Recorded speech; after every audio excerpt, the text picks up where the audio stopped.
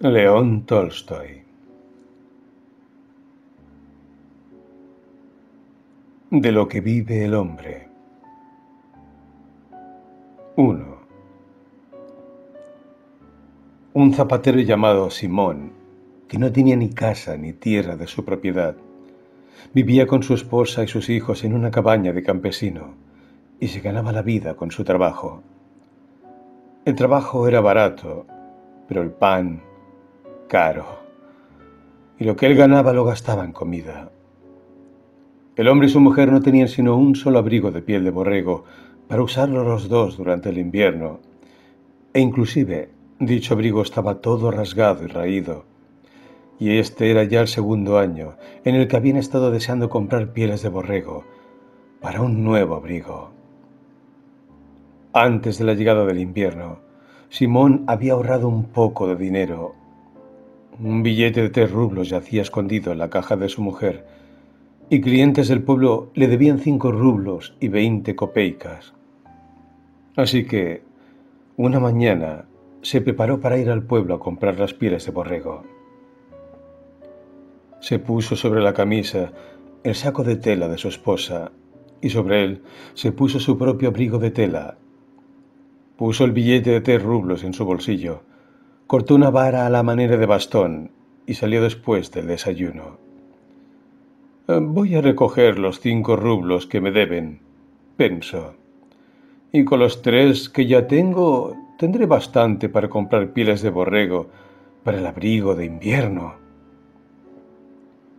Llegó al pueblo y tocó en la cabaña de un campesino, pero el hombre no estaba en la casa. La esposa del campesino le prometió que se le pagaría el dinero la siguiente semana, pero que ella, por cuenta propia, no se lo pagaría. Simón fue entonces a ver a otro campesino, pero éste le juró que no tenía nada de dinero y ofrecía pagar únicamente veinte copeicas que debía por un par de zapatos que Simón había reparado. Simón intentó entonces comprar de fiado las pieles de borrego, pero el comerciante no le tuvo confianza. Trae el dinero, le dijo, y entonces podrá llevarte las pieles. Todos sabemos lo que es estar cobrando deudas. De modo que todo el negocio que el zapatero logró hacer fue obtener veinte copeicas por las botas que había reparado y llevarse un par de botas de fieltro que un campesino le dio para que le pusiera suelas de cuero. Simón se sintió desolado. Se gastó las veinte copeicas en vodka y se encaminó hacia su casa sin haber comprado las pieles. Por la mañana había sentido la escarcha, pero ahora, después de haber bebido vodka, sentía calor inclusive sin un abrigo de piel de borrego. Recorrió con dificultad el camino, golpeando con su bastón la tierra congelada meciendo las botas de fieltro con la otra mano y hablándose a sí mismo. Tengo calor, se dijo, aunque no tenga ningún abrigo de piel de borrego. Me tomé unas gotas y éstas recorren todas mis venas. No necesito pieles de borrego. Sigo igual y no necesito preocuparme por nada. Esa es la clase de persona que yo soy. ¿Qué me importa?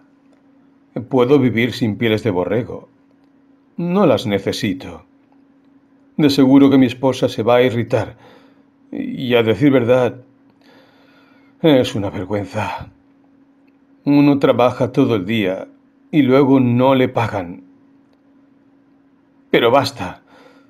Si no me pagas el dinero te aseguro que yo te desuello. Que me muera si no. ¿Cómo es eso? Él paga veinte copeicas cada vez. ¿Qué puedo hacer con veinte copeicas? Mm, bebérmelas. Eso es todo lo que se puede hacer. No tengo nada, dice. Puede ser, pero ¿qué pasa conmigo? Tú tienes una casa, ganado y todo. Yo solo tengo lo que llevo puesto. Tú tienes granos de tu propia cosecha Yo tengo que comprar cada grano, haga lo que haga. Tengo que gastar tres rublos por semana solamente en pan. Llego a mi casa y encuentro que ya se acabó el pan y tengo que soltar otro rublo y medio. Así que paga simplemente lo que debes y basta de tonterías. Para entonces ya casi había llegado al santuario ubicado al borde de la carretera. Al levantar la vista, vio algo blancuzco detrás del santuario. La luz del día se desvanecía y el zapatero clavó la mirada sin poder determinar de qué se trataba. No había ninguna piedra blanca aquí antes. ¿Será una res? No parece una res. Tiene una cabeza como la de un hombre, pero es demasiado blanca. ¿Y qué podría estar haciendo un hombre allí? Se acercó de modo que la cosa resultaba ya claramente visible. Para su sorpresa, se trataba realmente de un hombre, vivo o muerto, sentado y desnudo, recargado sin moverse sobre el santuario. El terror se apoderó del zapatero y pensó, alguien lo mató, lo desvalijó y lo dejó allí. Si me entrometo en esto, de seguro que voy a tener problemas. El zapatero entonces se fue. Pasó frente al sepulcro, de modo que no podía ver al hombre. Cuando ya había avanzado un poco, volvió la mirada y vio que el hombre ya no se recargaba en el sepulcro, sino que se movía como si estuviera dirigiendo su mirada hacia él. El zapatero sintió más miedo que antes y pensó, ¿me regreso hacia él o sigo mi camino? Si me acerco, algo espantoso puede suceder. ¿Quién sabe quién será este sujeto? No vino a estos lugares para nada bueno. Si me acerco, se me puede echar encima y estrangularme, y no habrá modo de que escape. Y si no, será de todos modos un peso para mí. ¿Qué puedo hacer por él? No le puedo dar mis últimas ropas. El cielo me asista para escapar. El zapatero entonces se volvió apresuradamente, dejando el santuario detrás de él, cuando de pronto le remordió la conciencia y se detuvo en la carretera. ¿Qué estás haciendo, Simón? se dijo. Ese hombre puede estar muriéndose por no tener nada, y tú huyes asustado. ¿Eres tan rico, acaso, que tienes miedo de los ladrones? Ay, Simón, ¡Qué vergüenza! Y entonces se volteó y se encaminó hacia el hombre. 2. Simón se acercó al forastero. Lo miró y vio que era un joven, en buen estado físico, sin daños en el cuerpo, pero que evidentemente estaba congelándose y espantado, y que se había sentado allí, recargándose en la pared, sin voltear hacia arriba para ver a Simón, como si estuviera demasiado débil para levantar los ojos. Simón se acercó a él, y entonces el hombre pareció despertarse. Volteando su cabeza, abrió sus ojos y examinó la cara de Simón. Esa sola mirada bastó para que Simón sintiera afecto por el hombre. Aventó las botas de fieltro al piso, se quitó su cinturón lo dejó sobre las botas y se quitó su abrigo de tela. No es hora de hablar, dijo. Vamos, ponte de inmediato este abrigo. Y Simón tomó al hombre por los codos y lo ayudó a levantarse. Mientras se sostenía, Simón vio que su cuerpo estaba limpio y en buenas condiciones, sus manos y pies bien proporcionados y su cara buena y amable. Puso su abrigo sobre los hombros del hombre, pero éste no podía encontrar las mangas. Simón guió sus brazos hacia ellas y poniéndole bien el abrigo lo arropó con fuerza, apretando su cinturón en la talla del hombre. Simón inclusive se quitó su gorra agujereada para ponerle la cabeza del hombre aquel pero entonces sintió frío en su propia cabeza y pensó, yo soy calvo, en tanto que él tiene largos cabellos rizados.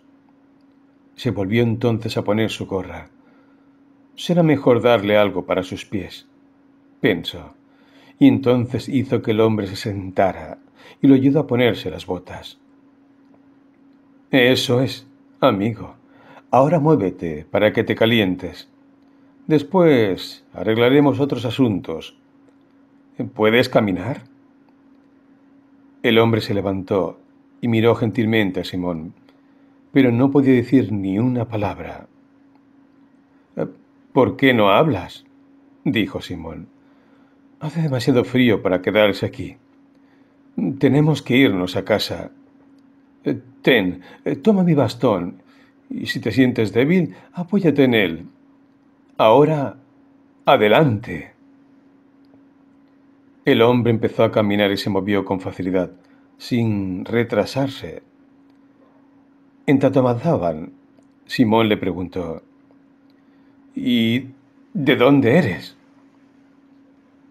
No soy de esta región. Así lo pensé. Conozco a la gente de por aquí, pero ¿cómo fue que llegaste hasta el santuario? No puedo decirlo. ¿Te maltrataron? Nadie me maltrató. Dios me castigó. Desde luego que Dios manda en todo, pero, de todos modos, tendrás que encontrar comida y un lugar donde guarecerte. ¿A dónde quieres ir? Me da lo mismo. Simón estaba asombrado. El hombre no hablaba como los pillos, sino dulcemente, y sin embargo no dio ninguna información acerca de sí mismo. Simón pensó, ¿quién sabe qué habrá pasado? Y le dijo al extranjero, Bueno, entonces ven a mi casa y por lo menos te calentarás un poco. Simón caminó así hacia su casa y el extraño se mantuvo junto a él, caminando a su lado. El viento arreció y Simón sintió frío debajo de su camisa. Para entonces ya había pasado su borrachera y estaba empezando a sentir la helada. Siguió caminando, jadeando y apretando el abrigo de su mujer a su cuerpo, y pensó para sí. Eso es, Háblame de pieles de cordero. Eh, salí para buscar pieles de cordero y regreso a casa sin ni siquiera un abrigo en mi espalda. Y lo que es peor, traigo un tipo desnudo. No le va a gustar nada a Matrena. Y cuando pensó en su mujer, se sintió triste. Pero cuando miraba al forastero y recordaba cómo éste lo había visto allá en el santuario, su corazón estaba contento. 3. Ese día la esposa de Simón tenía todo listo desde muy temprano. Había cortado leña, traído agua, dado de comer a los niños. Había comido su propia comida y habíase luego puesto a pensar. Se preguntaba cuándo debería cocer más pan, si en ese momento o al día siguiente. Quedaba todavía un pedazo grande. Si Simón comió algo en el pueblo, pensó, y no cena mucho, quedará pan para otro día. Pensó una y otra vez el pedazo de pan y pensó, ya no haré más el día de hoy. Tenemos harina solo para un pedazo más. Nos las arreglaremos para que dure hasta el viernes. De este modo, Matrena apartó el pan y se sentó a la mesa para remendar la camisa de su esposo. Mientras trabajaba, pensaba cómo estaría su esposo comprando las pieles para el abrigo de invierno. Con tal de que el comerciante no lo engañe, el bonachón de mi esposo es demasiado simple. Él no le haría trampa a nadie, pero a él cualquier niño lo engaña. Ocho rublos es mucho dinero a ese precio debería conseguir un buen abrigo. No uno de piel curtida, sino un buen abrigo de invierno. Qué duro resultó el invierno pasado sin un abrigo caliente. No podía ni bajar al río, ni ir a ningún lado. Cuando él salía se ponía todo lo que teníamos, pero ya no quedaba nada para mí. No se fue hoy muy temprano, pero ya es hora de que estuviera de regreso. Espero que no se haya ido de juerga. Apenas había Matrena pensado esto, que se oyeron pasos en el umbral de la casa y alguien entró. Matrena dejó su aguja en lo que estaba haciendo y salió al pasillo. Allí vio a dos hombres, a Simón y con él a un hombre sin gorro y con unas botas de fieltro puestas. Matrena se dio cuenta de inmediato de que su esposo olía alcohol. Eso es, pensó. Estuvo bebiendo. Y cuando vio que no llevaba puesto ningún abrigo, que solo tenía su saco, que no traía consigo ningún paquete, que estaba parado allí en silencio y que parecía avergonzarse, el corazón se le oprimió. Se bebió el dinero, pensó, y se fue de parranda, con uno bueno, para nada, que ahora trae a la casa. Matrena los dejó pasar. Lo siguió, y vio que el forastero era un joven delgado y que llevaba puesto el abrigo de su esposo. No se veía ninguna camisa debajo del abrigo, y no tenía gorro. Una vez que entró se quedó de pie sin moverse y sin levantar la mirada, y Matrena pensó, Debe ser un mal hombre. Tiene miedo. Matrena frunció el cejo y se paró junto a la estufa esperando ver qué harían. Simón se quitó su gorro y se sentó en el banco, como si todo estuviera perfectamente en orden. Vamos, Matrena, si la cena ya está lista, sírvenosla. Matrena murmuró algo para sus adentros y no se movió, sino que se quedó donde estaba, junto a la estufa. Vio primero a uno y luego al otro, y solo movió la cabeza. Simón se percató de que su esposa estaba anonadada, pero trató de hacer caso omiso de ello. Haciendo como que no se daba cuenta de nada, tomó al forastero del brazo. Siéntate, amigo, le dijo. Vamos a cenar algo. El forastero se sentó en el banco. ¿No has cocinado nada para nosotros? preguntó Simón. La furia de Matrena estalló. He cocinado, pero no para ti. Me da la impresión de que te bebiste el seso. Te fuiste a comprar un abrigo de piel de borrego y regresas sin siquiera el abrigo que llevabas puesto y de paso traes a la casa a un vagabundo desnudo. No tengo cena para borrachos como tú. Ya basta, Matrena. Mantén la lengua tranquila. Harías mejor en preguntar qué clase de hombre. ¿Me vas a decir qué hiciste con el dinero? Simón hurgó en el bolsillo de su saco. Sacó el billete de tres rublos y lo desdobló. Aquí está el dinero. Trifonov no pagó, pero promete hacerlo pronto. Matrena se enojó aún más. No había traído ninguna piel de borrego, pero en cambio sí le había dado su único abrigo a un sujeto desnudo, e inclusive lo había traído a su casa. De mala gana recogió el billete que estaba sobre la mesa, para ponerlo a salvo, y dijo No tengo cena para ustedes. No podemos estar alimentando todos los borrachos desnudos del mundo. Ya estuvo bien, Matrena. Controla la lengua. Primero oye lo que este hombre tiene que decir. Mucha sabiduría no escucharé de los labios de un borracho. Tenía razón en no querer casarme contigo. Un borracho la mantelería y la ropa que mi madre me dio. Te la bebiste. Y ahora acabas de ir a comprar un abrigo y también te lo bebes. Simón trató de explicarle a su esposa que solo se había gastado veinte copeicas. Intentó decirle cómo había encontrado al sujeto. Pero Matrena no estaba dispuesta a dejarle decir una sola palabra. Hablaba como un papagayo y traía a colación cosas que habían sucedido hacía doce años. Matrena habló y habló, y por último se abalanzó sobre Simón y lo agarró por la manga. Dame mi saco. Es el único que tengo, y ahora, claro, sientes que necesitas quitármelo y ponértelo tú. Dámelo, perro sarnoso, y que te lleve el diablo. Simón se quitó el saco y empezó a voltear al derecho una de las mangas. Matrena le arrebató el saco y rasgó una costura. Rápidamente lo tomó, se lo aventó a la cabeza y se fue hacia la puerta. Su primera intención había sido la de salirse, pero se detuvo indecisa.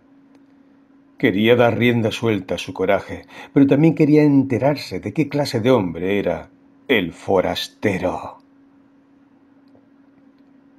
4. Matrena se detuvo y dijo, Si fuera un buen hombre no estaría desnudo. Digo, no tiene puesta ni la camisa. Si fuera correcto, podría decir de dónde viene. Eso es precisamente lo que estoy tratando de decirte, dijo Simón. Cuando llegaba al santuario lo vi allí completamente desnudo y congelándose. No es precisamente el lugar para sentarse desnudo. Dios me envió a él, porque de lo contrario él habría perecido. ¿Qué se suponía que tenía que hacer? Lo recogí, lo cubrí y lo traje conmigo. No te enojes, Matrena, no es un pecado. Recuerda, todos tenemos que morir algún día. Palabras airadas querían brotar de los labios de Matrena, pero ella miró al forastero y permaneció en silencio. Este se sentó al borde del banco, inmóvil, con las manos apoyadas en las rodillas, la cabeza pegada al pecho, los ojos cerrados y el entrecejo fruncido, como si algo le doliera. Matrena guardaba silencio, y entonces Simón dijo, Matrena, ¿no sientes amor por Dios? Matrena oyó esas palabras, y al ver al forastero, de pronto su corazón se suavizó por él. Avanzó desde la puerta, y yendo hacia la estufa sacó la cena.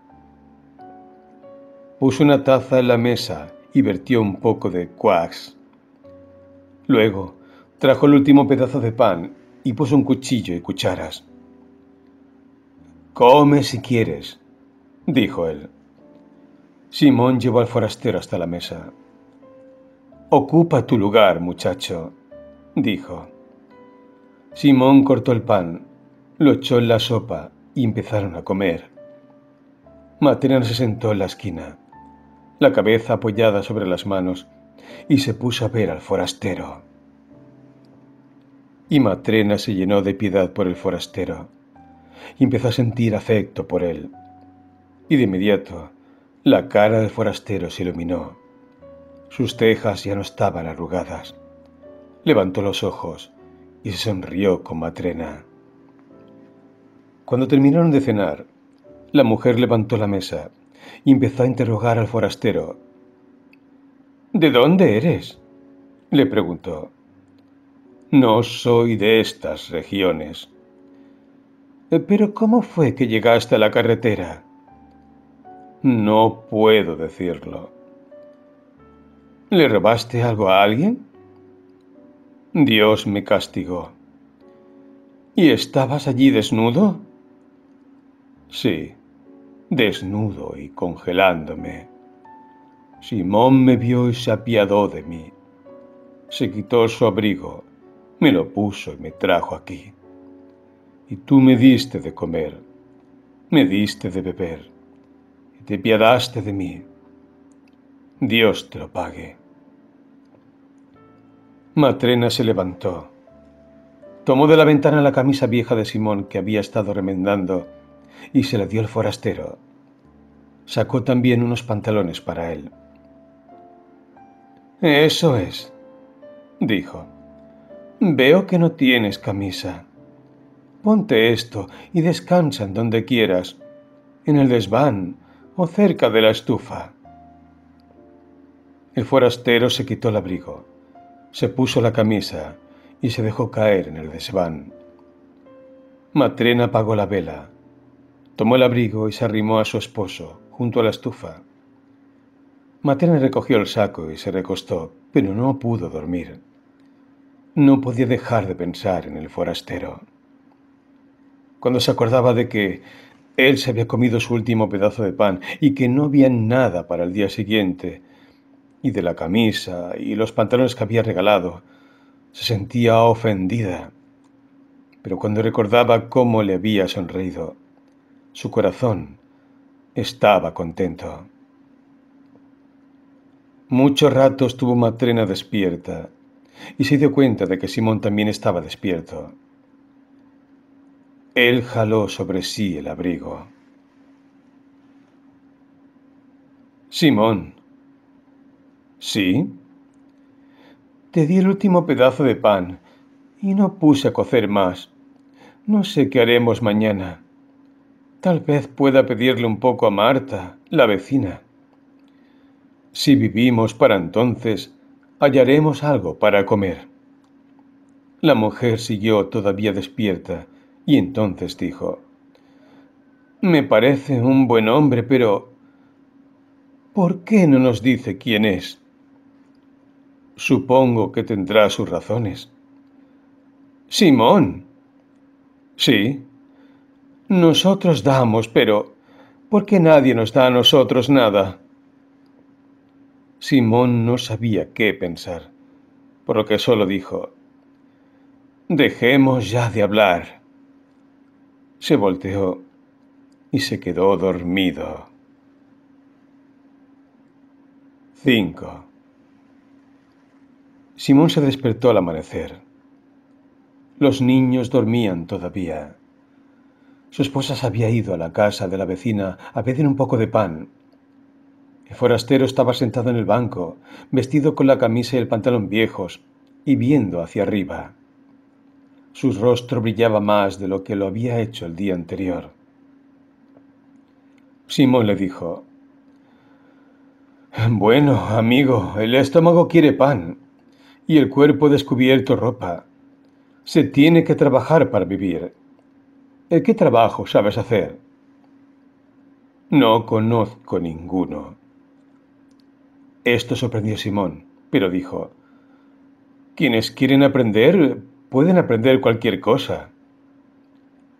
Los hombres trabajan y yo también trabajaré. Eh, eh, ¿Cómo te llamas? Miguel. Bien, Miguel, si no deseas hablar acerca de ti, ese es tu asunto, pero tendrás que ganarte tú mismo tu vida. Si trabajas como te digo, yo te daré comida y techo. Dios te lo pague. Yo aprenderé. Muéstrame qué hay que hacer. Simón tomó unos hilos, los enrolló en la mano y empezó a doblarlos. Es bastante fácil. ¿Ves? Miguel lo vio. Puso hilos en su propia mano del mismo modo. Asimiló el truco y dobló debidamente los hilos. Luego Simón le enseñó cómo encerar el material Miguel también aprendió a hacer eso. Después Simón le mostró cómo coser, y esto también Miguel lo aprendió a hacer de inmediato. Él comprendía inmediatamente todo lo que Simón le enseñaba, y diez días después él trabajaba como si hubiera reparado botas toda su vida. Trabajaba sin cesar y comía poco. Cuando el trabajo estaba terminado descansaba en silencio, viendo hacia arriba. Muy raras veces salía a la calle, Hablaba solo cuando era necesario y no bromeaba ni se reía. Nunca lo vieron sonreír, salvo aquella primera tarde cuando Matrena les había dado de cenar. 6. Día a día y semana tras semana pasó un año. Miguel vivía y trabajaba con Simón. Su fama se extendió al grado de que la gente llegó a decir que nadie cosía botas tan bien y con tanta firmeza como Miguel, el ayudante de Simón. De todos los distritos aledaños, la gente iba con Simón para arreglar sus zapatos y empezó a irle bien. Un día de invierno, mientras Simón y Miguel sentados trabajaban, una carroza ligera, con tres caballos y con campanas, subió hacia la cabaña. Se asomaron a la ventana. La carroza se detuvo enfrente de su puerta y un ágil sirviente saltó y abrió la puerta. Un caballero con un abrigo de piel salió y se encaminó hacia la cabaña de Simón. Matrena se levantó de un brinco y abrió la puerta de par en par. El caballero inclinó la cabeza para entrar en la cabaña y cuando se volvió a enderezar, casi tocaba el techo con la cabeza y daba la impresión de llenar por completo el cuarto. Simón se levantó y miró al caballero con asombro. Nunca había visto a nadie como él. Simón mismo era flaco, Miguel era delgado y Matrena tan seca como un hueso, pero este caballero era como alguien de otro mundo, chapeado, de cabellos rizados, con un cuello corto y como si estuviera hecho de acero. El caballero resopló, se quitó su abrigo, se sentó en el banco y dijo ¿Quién de los dos es el maestro? Yo soy, Su Excelencia, dijo Simón, avanzando. Entonces el caballero le gritó a su muchacho Oye, Lezca, trae el cuero. El sirviente entró corriendo, con un paquete en las manos. El caballero tomó el paquete y lo puso sobre la mesa. Desátalo, le dijo. El muchacho lo desató. El caballero señaló con el dedo el cuero. Mira, maestro, le dijo. ¿Ves este cuero? Eh, sí, Su Excelencia.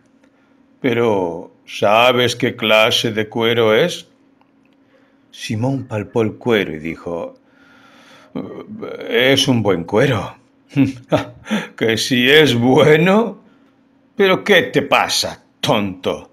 Nunca has visto uno tan bueno en toda tu vida. Es alemán y cuesta veinte rublos. Simón estaba asustado y dijo, ¿Por qué habría yo de haber visto cuero así antes? Eso es lo que digo yo. Bueno, ¿lo puedes transformar en botas para mí? Eh, sí, Su Excelencia, puedo. Entonces el caballero le gritó, Tú puedes, ¿verdad?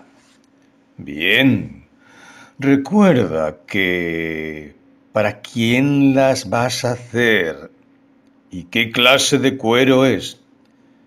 Me tienes que hacer unas botas que duren todo un año, sin que se descosan ni que pierdan su forma. Si puedes hacerlo, toma el cuero y córtalo. Pero si no puedes, dilo te advierto, si las botas se descosen o pierden su forma en menos de un año, te meto a la cárcel. Si no revientan, te pagaré diez rublos por tu trabajo. Simón estaba asustado y no sabía qué hacer, ni qué decir. Le echó un vistazo a Miguel y con un ligero codazo en el hombro murmuró mm, ¿Lo tomó? Miguel asintió con la cabeza, como para decir, sí, tómalas. Simón hizo lo que Miguel le aconsejaba y se comprometió a hacer unas botas que durante un año por lo menos no perdieran su forma ni se descosieran. El caballero llamó a su sirviente y le ordenó que le quitara la bota de la pierna izquierda, la cual estiró. Toma mis medidas, dijo. Simón tomó un pedazo de tela para medir, que era de 17 pulgadas de largo. La restiró. Se puso de rodillas. Se secó las manos con su delantal para no ensuciar el calcetín del caballero. Y empezó a medir. Midió la planta, el empeine, y empezó a medir el tobillo. Pero la tela que le servía para medir era demasiado chica. El tobillo era tan ancho como una viga. Cuida que no quede demasiado apretado en la pierna. Simón tomó más tela para medir. El caballero retorcía los dedos bajo el calcetín, mirando en derredor y como si ni se hubiera percatado de que Miguel estaba allí. ¿A quién tienes aquí? preguntó. Es mi ayudante. Él coserá las botas. Cuidado, le dijo el caballero a Miguel. Recuerda que me las tienes que hacer durar un año.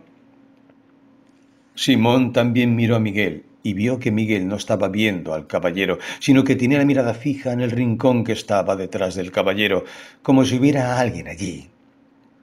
Miguel miraba y miraba, y de pronto se sonrió, y su rostro se iluminó. ¿Por qué haces esas muecas, tonto? exclamó el caballero con voz de trueno. Mejor ocúpate de que las botas estén a tiempo. Estarán listas a tiempo, dijo Miguel. Que así sea, dijo el caballero, quien entonces se puso de nuevo la bota y su abrigo, el cual se ciñó, y se dirigió a la puerta. Pero como se olvidó agacharse, se golpeó la cabeza con el marco de la puerta. Maldijo y se sobó la cabeza. Acto seguido se sentó en la carroza y se fue. Cuando se había ido, Simón exclamó, Ese es un hombre como para ti. No lo podrías matar ni con un mazo. Por poco rompe el dintel, pero casi ni se lastimó. Y Matrena dijo, Viviendo como él vive, ¿cómo podría no ser fuerte? Ni la muerte misma puede tocar una roca así. 7. Simón le dijo entonces a Miguel, Bueno, aceptamos el trabajo, pero ahora ocupémonos de no tener ningún problema por culpa de él. El cuero es caro y el caballero de temperamento fogoso. No podemos cometer errores. Vamos, tus ojos son más fidedignos que los míos y tus manos más seguras. Así que mide y corta el cuero para las botas. Yo voy a terminar de coser. Miguel hizo lo que se le dijo. Tomó el cuero, lo extendió sobre la mesa, lo dobló en dos, tomó un cuchillo y empezó a cortar. Matrena se acercó y lo vio cortar, y estaba sorprendida de cómo lo hacía. Matrena estaba acostumbrada a ver cómo se hacían botas, y vio que Miguel no estaba cortando el cuero como para botas, sino que lo estaba cortando en redondo. Ardía en deseos de decir algo, pero se dijo para sus adentros. Quizá no comprendo cómo se deben hacer las botas de este caballero. Supongo que Miguel sabe más acerca de esto. No voy a meterme. Cuando Miguel hubo cortado el cuero, tomó un hilo y empezó a coser, no dos puntas, como se cosen las botas, sino una sola, como si quisiera hacer pantuflas. De nuevo Matrena se quedó sorprendida, pero una vez más no interfirió. Miguel cosió sin parar hasta mediodía. Cuando Simón se levantó para cenar, miró a su alrededor y vio que Miguel había hecho unas pantuflas con el cuero del caballero. ¡Ay! gimió Simón y pensó, ¿cómo es que Miguel, que ha estado conmigo todo un año y nunca antes había cometido un error, haya hecho ahora una cosa tan horrible? El caballero ordenó botas altas, cubiertas, sólidas, y Miguel hizo unas pantuflas suaves y echó a perder el cuero. ¿Qué le voy a decir al caballero? Nunca podré reemplazar un cuero así. Y le dijo a Miguel, ¿Qué has hecho, amigo? Me has arruinado. Sabías que el caballero ordenó botas altas, pero mira lo que hiciste. Apenas acababa de reprocharle Miguel su acción, cuando sonó la campana que colgaba de la puerta. Alguien estaba tocando. Se asomaron a la ventana. Había llegado un hombre a caballo, al que estaba atando. Abrieron la puerta y entró el sirviente que había llegado con el caballero. Buen día, dijo. Buen día, respondió Simón. ¿En qué te puedo ayudar? Mi ama me envía por las botas. ¿Qué tienen las botas? Bueno, mi amo ya no las necesita. Está muerto. ¿Cómo es posible? No vivió mucho tiempo después de que salimos de tu casa, pero murió en la carroza. Cuando llegamos a la casa, los sirvientes vinieron a ayudarle a salir, y entonces rodó como un saco. Ya estaba muerto, y tan tieso que a duras penas se le pudo sacar de la carroza. Mi ama me envió y me dijo Dile al zapatero que el caballero que le ordenó hacer botas y que dejó el cuero ya no necesita las botas, pero que debe rápidamente hacer unas pantuflas suaves para el cadáver. Espérate hasta que las tenga listas y me las traes. Es por eso que he venido. Miguel recogió los restos del cuero, los enrolló, tomó las pantuflas que había hecho, hizo un paquete con todo y se lo pasó al sirviente, quien lo tomó y dijo Bien, maestros, adiós y que tengan buen día. 8. Pasó otro año, y luego otro, y Miguel estaba ahora viviendo su sexto año con Simón. Él siguió viviendo como antes. No iba a ninguna parte, solo hablaba lo necesario, y se había sonrido únicamente dos veces durante todos esos años. Una vez, cuando Matrena le dio comida, y la segunda vez, cuando el caballero había estado en su cabaña. Simón estaba más que satisfecho con su ayudante. Ahora ya nunca le preguntaba de dónde venía y lo único que temía era que Miguel se fuera. Un día estaban todos en casa. Matrena estaba poniendo unos platos de peltre en el horno. Los niños corrían y veían hacia afuera por la ventana. Simón cosía junto a una ventana y Miguel estaba poniendo unos tacones junto a la otra. Uno de los niños corrió hacia el banco de Miguel. Se apoyó en sus hombros y vio hacia afuera. Mira, tío Miguel, allí hay una señora con unas niñas. Parecen venir hacia acá. Y una de las niñas es coja. No bien hubo el niño dicho eso, que Miguel dejó de trabajar. Se volvió hacia la ventana y miró hacia la calle. Simón estaba sorprendido. Miguel no solía ver hacia la calle, pero en esta ocasión estaba pegado a la ventana, viendo algo con fijeza. Simón también vio hacia afuera y vio una mujer bien vestida que efectivamente se dirigía a su casa, llevando de la mano a dos pequeñas niñas con abrigos de piel y medias de lana. Difícilmente se podía distinguir a una niña de otra, salvo que era lisiada de la pierna izquierda y cojeaba.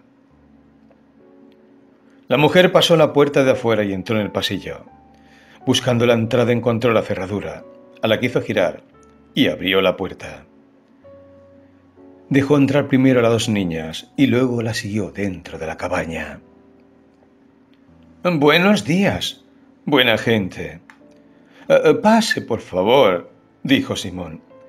¿En qué puedo ayudarles? La mujer se sentó junto a la mesa. Las dos niñas se acurrucaron junto a sus rodillas, temerosas de la gente de la cabaña. Quiero unos zapatos de cuero hechos a la medida para estas dos niñas, eh, para la primavera. Eh, podemos hacer eso. Nunca hemos hecho zapatos tan chiquitos, pero podemos hacerlos. Mocasines o botines. Mi muchacho, Miguel, es un maestro en este trabajo Simón miró de reojo a Miguel y vio que había dejado de trabajar y que estaba sentado con los ojos fijos en las niñas. Simón estaba sorprendido. Era cierto que las niñas eran bonitas, de ojos negros, chapeaditas y que llevaban mascadas finas y abrigos de piel, pero aún así Simón no podía comprender por qué Miguel las estaba observando de ese modo, como si las conociera desde mucho antes. Estaba asombrado pero siguió hablando con la mujer y arreglándose acerca del precio. Una vez acordado este, preparó la medida. La mujer levantó a la niña coja sobre sus rodillas y dijo Toma dos medidas para esta niña. Haces un zapato para el pie defectuoso y otro para el bueno. Ambas miden lo mismo del pie. Son gemelas. Simón tomó las medidas y hablando de la niña coja dijo, eh, ¿Qué fue lo que le pasó? Una niñita tan bonita nació así. No, su madre le destrozó la pierna. Matrena se les acercó. Se preguntaba quién sería esa mujer y de quién serían esas niñas, por lo que preguntó. Entonces, ¿no es usted su madre? No, buena mujer, no soy ni su madre ni pariente de ellas. Me son completamente extrañas, pero las adopté. ¿No son sus hijas y aún así las quiere tanto? ¿Cómo podría evitar quererlas? Las alimenté personalmente. Yo tuve un niño propio, pero Dios se lo llevó. No lo quería tanto como quiero ahora a estas dos niñas. Entonces, ¿de quién son esas niñas? 9. La mujer, habiendo empezado a hablar, les contó toda la historia. Hace alrededor de seis años murieron sus padres. Ambos durante la misma semana. Su padre fue enterrado un martes y su madre murió el viernes. Estas huérfanas nacieron tres días después de la muerte de su padre, y su madre no vivió ni un día más. Mi esposo y yo éramos entonces campesinos en el pueblo. Éramos sus vecinos. Su patio colindaba con el nuestro. El padre de estas niñas era un hombre solitario, un leñador del bosque. Cortando árboles, un día uno de ellos le cayó encima cayó justo sobre su cuerpo y le estallaron las entrañas. Apenas tuvieron tiempo de llevarlo a su casa antes de que su alma fuera a Dios. Y esa misma semana su esposa dio a luz a dos mellizas, estas pequeñas niñas. Ella era pobre y estaba sola. No tenía nadie, joven o viejo, con ella. Sola las parió y sola encontró su muerte. A la mañana siguiente fui a verla, pero cuando entré en la cabaña, la pobre ya estaba rígida y fría. Al morir había rodado hacia esta niña y le tenía aplastado su pierna. La gente del pueblo vino a la cabaña, lavaron el cuerpo, lo dejaron fuera, le hicieron una caja y la enterraron. Eran gentes buenas, las niñas se quedaron solas. ¿Qué se iba a hacer con ellas? Yo era ya la única mujer que por aquel entonces tenía un hijo. Estaba cuidando a mi primer recién nacido, de ocho semanas. Entonces las tomé por algún tiempo. Los campesinos venían todos y pensaban y pensaban qué hacer con ellas, hasta que por fin me dijeron Por ahora, María, harías bien en guardar a las niñas, y después decidiremos qué hacer con ellas. Así que al principio alimenté a la sana, pero no a la lisiada. No pensé que viviría. Pero entonces pensé para mí, ¿por qué tiene que sufrir la pobrecita inocente? Me inspiró piedad y comencé a alimentarla. Así que alimentaba a mi propio hijo y, a estas dos, a los tres, con mi propio pecho. Yo era joven y fuerte y comía bien, y Dios me dio tanta leche que a veces se desparramaba. A veces alimentaba a dos al mismo tiempo, mientras el tercero esperaba. Cuando una ya estaba satisfecha, alimentaba al tercero. Y Dios lo ordenó de tal modo que éstas crecieran en tanto que mi propio hijo fue enterrado antes de que tuviera dos años. Y ya no tuve niños, aunque prosperamos. Ahora mi esposo trabaja para el comerciante de trigo en el molino. El salario es bueno y nos va bien, pero ya no tengo hijos propios. ¿Y qué sola estaría sin estas pequeñas? ¿Cómo podría no amarlas? Ellas son la alegría de mi vida.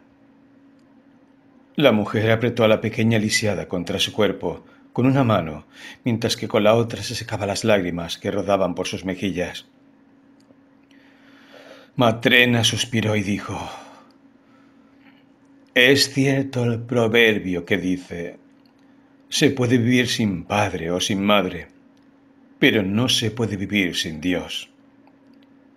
Siguieron hablando, cuando de pronto toda la cabaña quedó iluminada como por la luz del estío desde la esquina donde Miguel estaba sentado. Todos voltearon la mirada hacia él y lo vieron sentado, con sus manos puestas sobre las rodillas, viendo hacia arriba y sonriendo. 10. La mujer se fue con las niñas. Miguel se levantó del banco, dejó su trabajo y tomó su delantal. Luego inclinándose ante Simón y su esposa, dijo, Adiós, amos. Dios me ha perdonado. Les ruego a ustedes también que me perdonen por cualquier cosa que haya hecho mal. Y entonces vieron que una luz emanaba de Miguel. Y Simón se levantó, se inclinó ante Miguel y dijo, Veo, Miguel, que tú no eres un hombre común, y no puedo ni retenerte, ni interrogarte. Solo dime esto. ¿Cómo es que cuando te encontré y te traje a la casa eras tan sombrío, y cuando mi esposa te dio comida te sonreíste con ella y te viste iluminado? Luego, cuando el caballero aquel vino a ordenar las botas, de nuevo sonreíste y te vistes más iluminado aún. Y ahora que esta mujer trajo a las niñas, sonreíste por tercera vez y te volviste tan luminoso como el día. Dime, Miguel, ¿por qué brilla tanto tu rostro y por qué sonreíste esas tres veces? Y Miguel respondió, La luz emana de mí porque fui castigado pero ahora Dios me ha perdonado.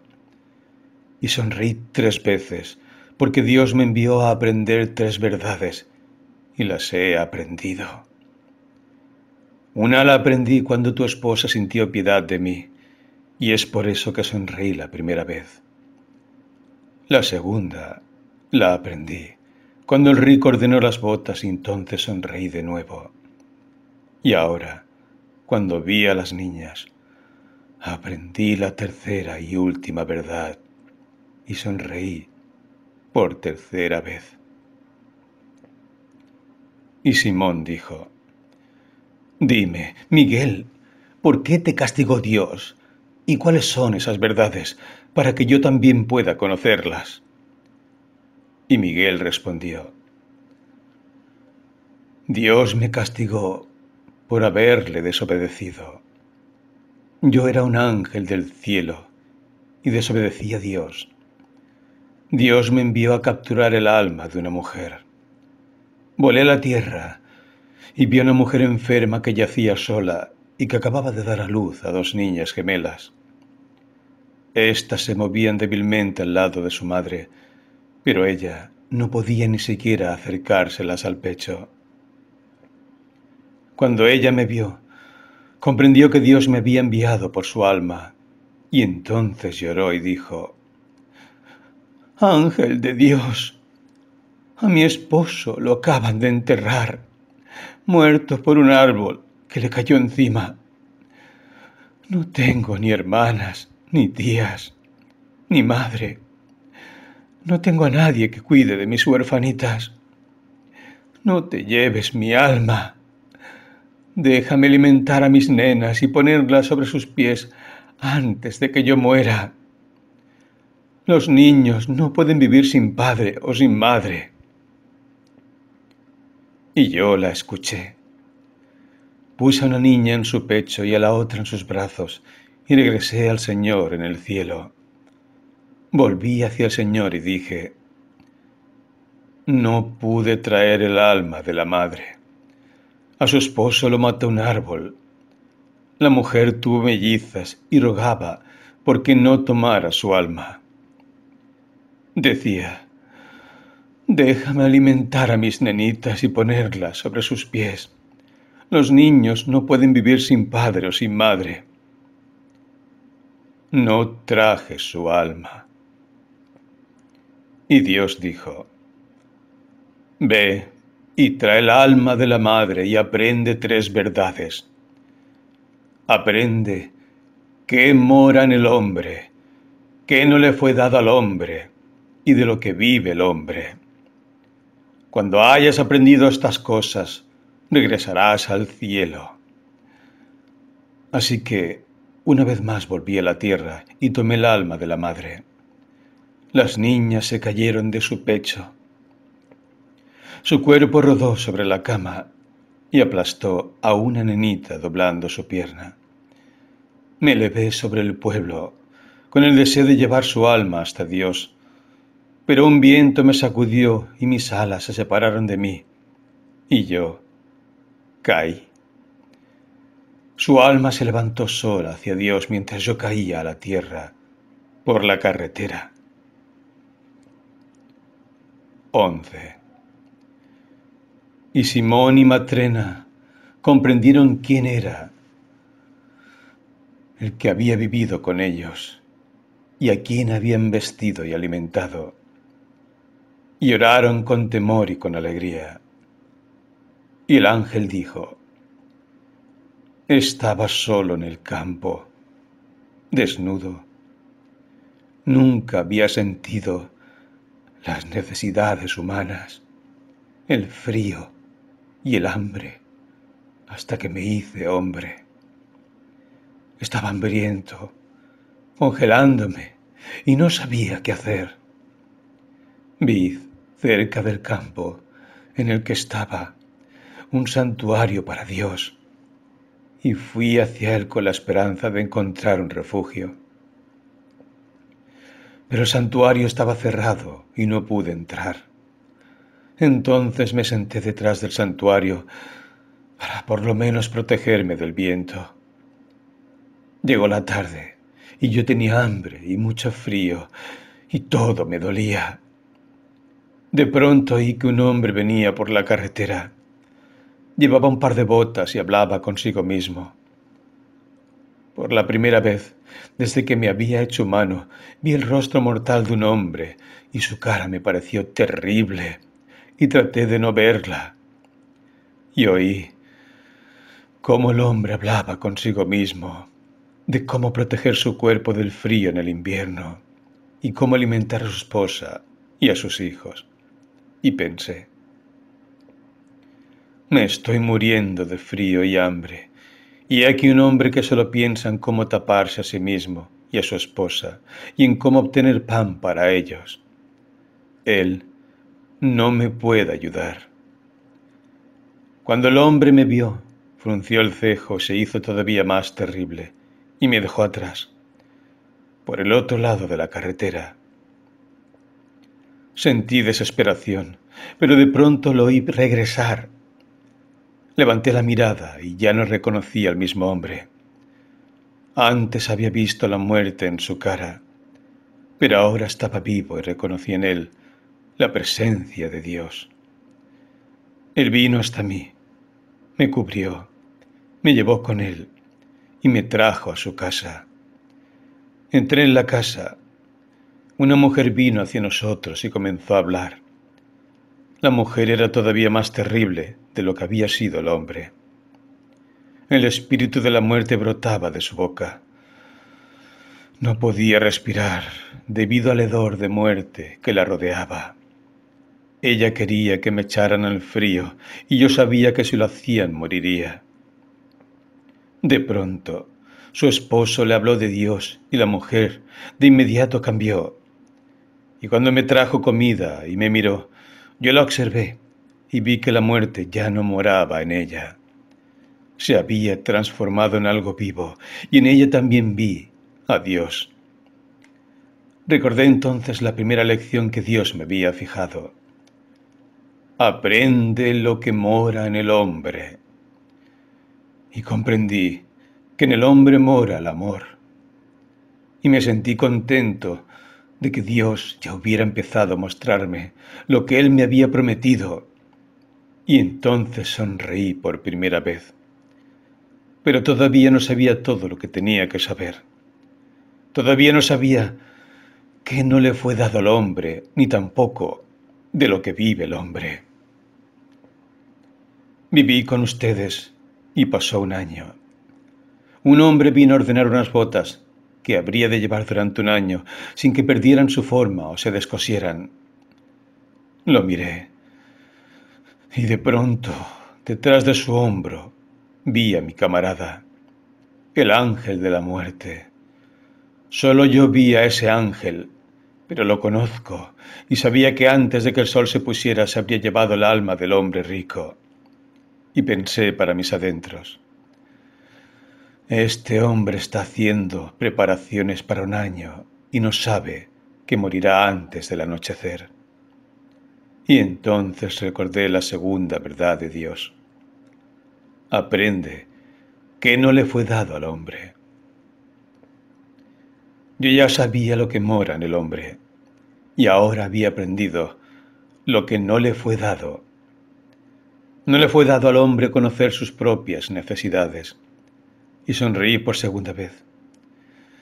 Y estaba contento por haber visto a mi compañero Ángel, contento también de que Dios me hubiera revelado su segunda verdad. Pero todavía no conocía todo. No sabía de qué vive el hombre. Y seguía habitando aquí, esperando que Dios me revelara la tercera lección al sexto año vinieron las niñas gemelas y la mujer. Y reconocí a las niñas y escuché cómo habían sido salvadas. Habiendo escuchado el relato, pensé, su madre me imploró en nombre de sus hijas, y yo le creí cuando dijo que los niños no pueden vivir sin padre o sin madre. Pero una extraña las alimentó y las crió. Y cuando la mujer mostró su amor por las niñas, que no eran suyas, y lloró por ellas, vi en ella al Dios viviente y comprendí de qué vive el hombre. Y supe también que Dios me había revelado la última lección y había perdonado mi pecado. Y entonces sonreí por la tercera vez.